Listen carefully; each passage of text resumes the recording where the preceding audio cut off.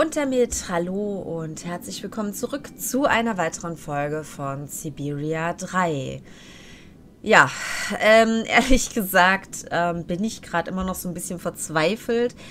Ich habe auch noch mal ein bisschen überlegt, wo ich jetzt alles gewesen bin und wo ich nicht gewesen bin. Und ähm, ich check's ehrlich gesagt nicht, weil ich bin schon überall durchgelaufen. Hier kommen wir offensichtlich nicht vorbei, wo die Hunde sind. Hier komme ich einfach nicht rüber. Also ich weiß nicht, ob das noch ein hinterer Raum ist oder was. Das sieht irgendwie so seltsam aus. Aber da will er mich definitiv nicht durchlassen. Und ähm, ja, weiß ich nicht. Ich bin jetzt mittlerweile schon überall rumgelaufen und ehrlich gesagt, ich bin tierisch verzweifelt. Äh, halt, stopp. Ist da irgendwas? Nee, ich dachte... Okay, das ist nur eine Tasche, die man nicht nehmen kann. Ähm, vielleicht sehe ich irgendwo einen kleinen weißen Punkt nicht oder so. Ich weiß nicht, also... Gut, das hier, das wissen wir ja. Aber eigentlich, ich meine, ich stehe hier und da kann man die Punkte sehen. Eigentlich müsste der mir das alles zeigen. Das ist halt das Problem. Was flackert denn hier? Ne, das ist nur ein Grafikfehler. Wir sind ja hier überall schon gewesen. Das ist halt das große Problem. Und hier ist ja nirgendwo was gewesen. Hier kommen wir halt nicht weiter wegen den Autos. Also da kamen wir nur dieses Stückchen rein. Ähm, in dem Auto ist da vielleicht noch irgendwas. Hä, wieso ändert der jetzt hier die Perspektive? Eben hat der nicht die Perspektive geändert. Okay. Kann man da rein? Nee, ne? Ah, nee, der geht, der geht so ein Stückchen... Okay, er geht aber nicht da rein. Ah, Moment, was da... Nee, das ist wieder nur eine Sequenz, die hilft uns anscheinend auch nicht weiter. Machst du sie trotzdem mal? Ja, irgendein Mützenverkäufer, so wie es aussieht. Mützen- und Taschenverkäufer. Da ist hinten eine Tür drin. Das bringt uns natürlich hier vorne jetzt nicht wirklich was, wenn wir hier nicht durchkommen.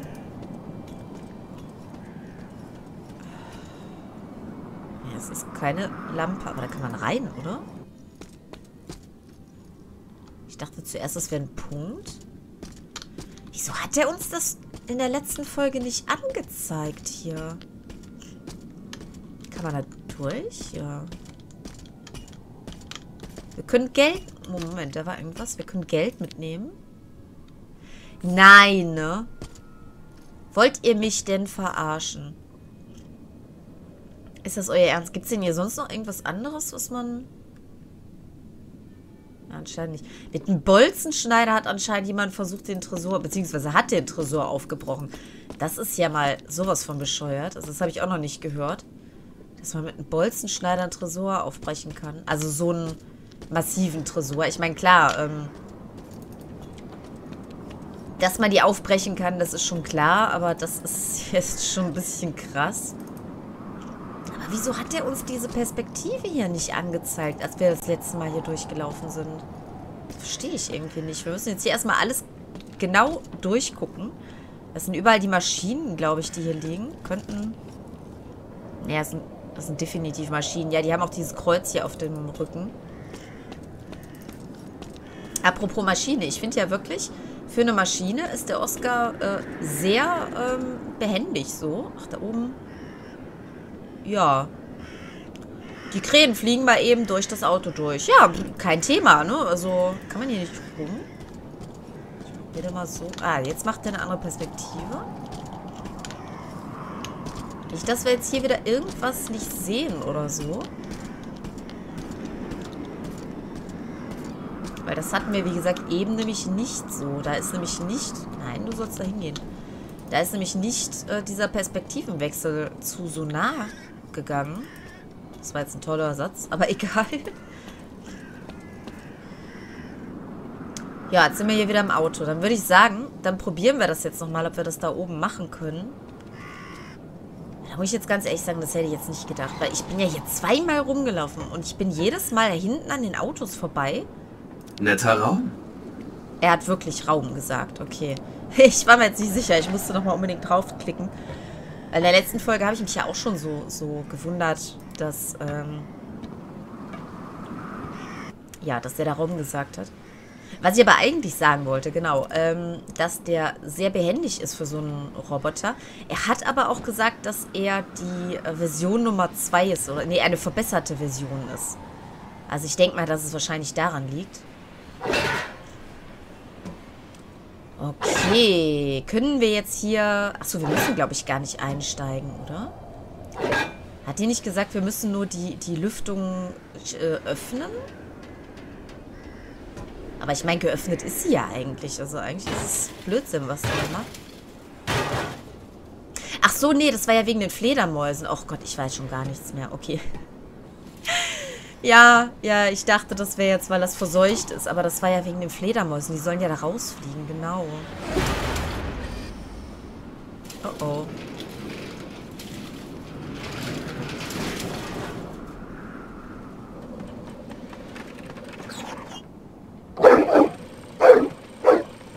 Oh.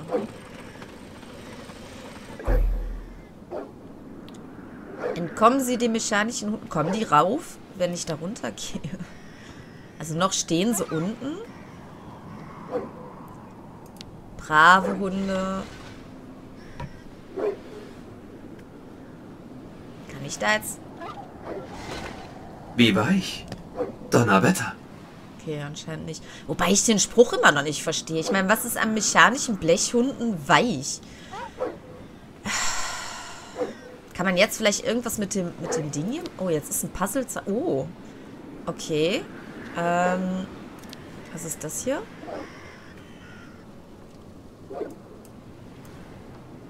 Achso, das muss man abziehen. Okay. Das hier? Abziehen oder drehen? Oder erst angucken und dann was damit machen. Das kann natürlich auch sein. Ah ja, okay, abziehen. Ähm, ach, da ist ein Schlauch dran, oder? Moment, muss ich hier raus? Kann ich da nichts mehr machen? Hallo? Jetzt kann ich mich ein bisschen um... Ah. Ah, okay.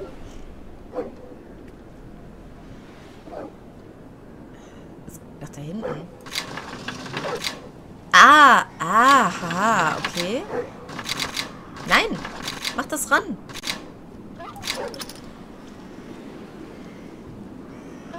Ähm, ja. Danke, dass du so rumbackst, aber ist in Ordnung. ist wahrscheinlich drehen, ne? Das sieht mir ganz danach aus. Es ist ja ein, ein Feuerwehrwagen, dass da jetzt was gelöscht wird. Okay, hier kann man nichts mehr sehen. Ähm, okay, wieso kann ich... Doch, jetzt kann ich den benutzen. Oh, scheiße.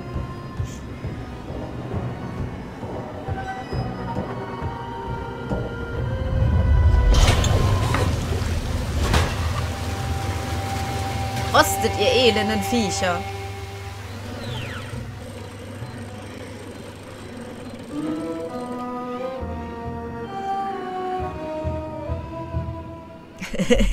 Schönes Bild so am Ende. Treffen Sie Kate Walker. Ja, endlich. Boah, ich war schon so am Verzweifelt. Ich habe schon gedacht, ich komme jetzt hier überhaupt nicht mehr weiter. Aber wie gesagt, also dass man... Äh, ich gehe mal ein bisschen so rum. Ähm, dass man da jetzt andere Ansicht bekommt, das hätte ich jetzt echt nicht gedacht. Weil wir sind ja zweimal schon da hinten rumgelaufen und da hat sich nichts getan. Eigentlich hatte ich jetzt vor, einmal die Runde zu laufen. Dann, dann nochmal äh, hier vorne zwischendurch zu probieren, mit ihr zu reden. Und das hatte ich ja in der letzten Folge schon gesagt. Und ähm, dann irgendwie verzweifelt nochmal bei den Hunden zu gucken. Aber okay, so ist es natürlich einfacher.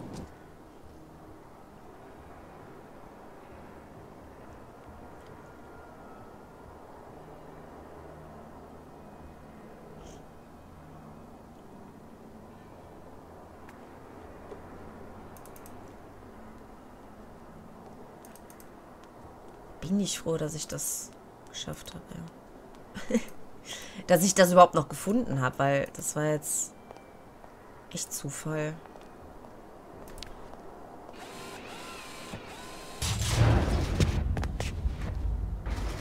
Dekontaminationsprozess aktiviert. Bitte halten Sie still. Dekontaminationsprozess im Gang. Bitte halten Sie still.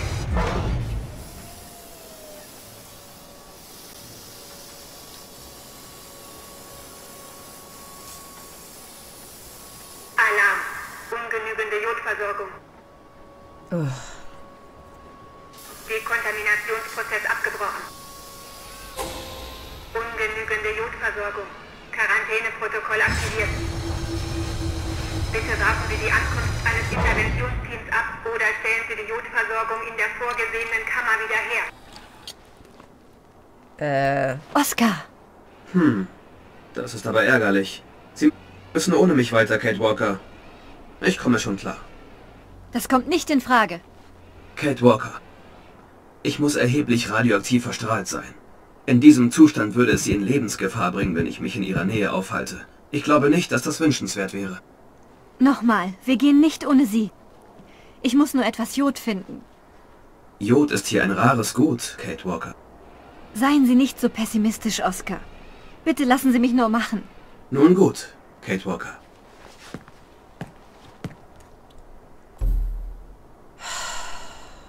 Wo zur Hölle soll ich jetzt Jod herbekommen? Haben wir Jod? Nee, ne? Ach, klick doch mal da drauf, Mann. Ähm, Keine Chance. ja, das ist mir schon klar. Versuchen wir etwas anderes. Ist vielleicht Jod Unmöglich. am Tuch dran? Keine Ahnung. Das ist nicht richtig. Was? Der Seetang? Wollt ihr mich veräppeln? Achso, das muss man zumachen.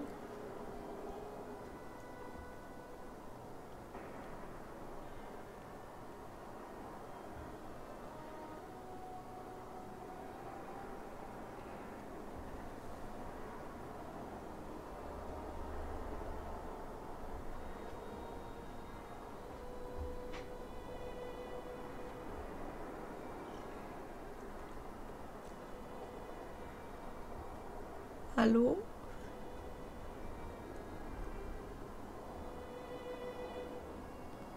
Also gut, ich habe leider nicht die großen biologischen Kenntnisse, aber aus Seetang Jod herzustellen, das wusste ich jetzt wirklich noch nicht. Äh, achso. Ausreichende Jodversorgung. Quarantäneprotokoll beendet.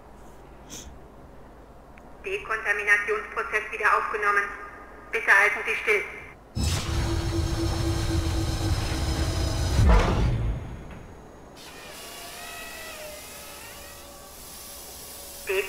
Dekontaminationsprozess im Gang. Bitte halten Sie still.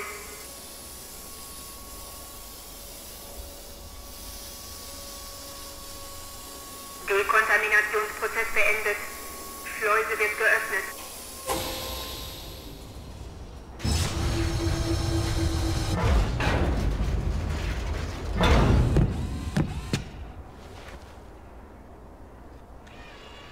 Schön, Sie wieder zu haben, Oscar.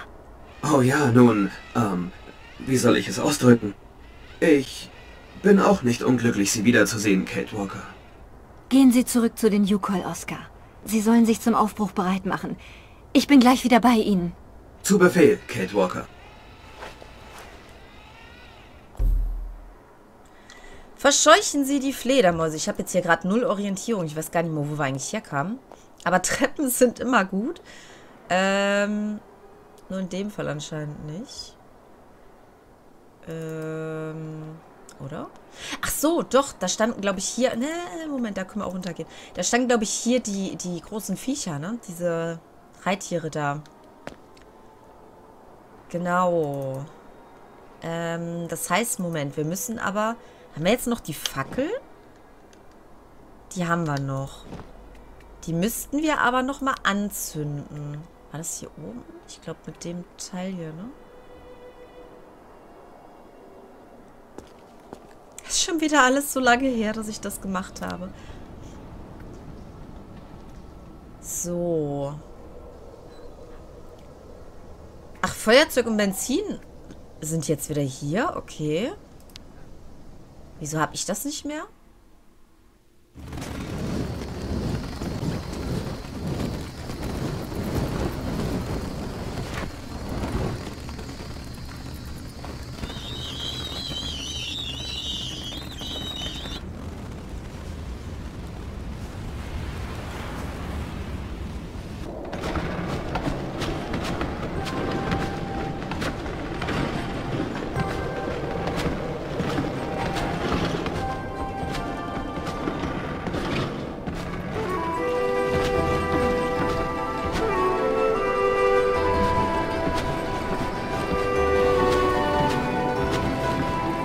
Endlich frische Luft.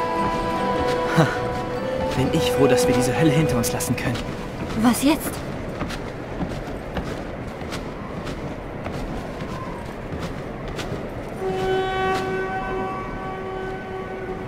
Wir lagern diese Nacht hier und setzen die Reise bei Sonnenaufgang fort. Unser nächster Schritt ist unser letzter in diesem Land. Die alte Brücke über den Fluss Ballatöm an der Grenze zu Jakastan. Wenn wir sie überquert haben, sind wir vor unseren Verfolgern sicher. Das sind doch mal gute Neuigkeiten. Bis bald, Kirk.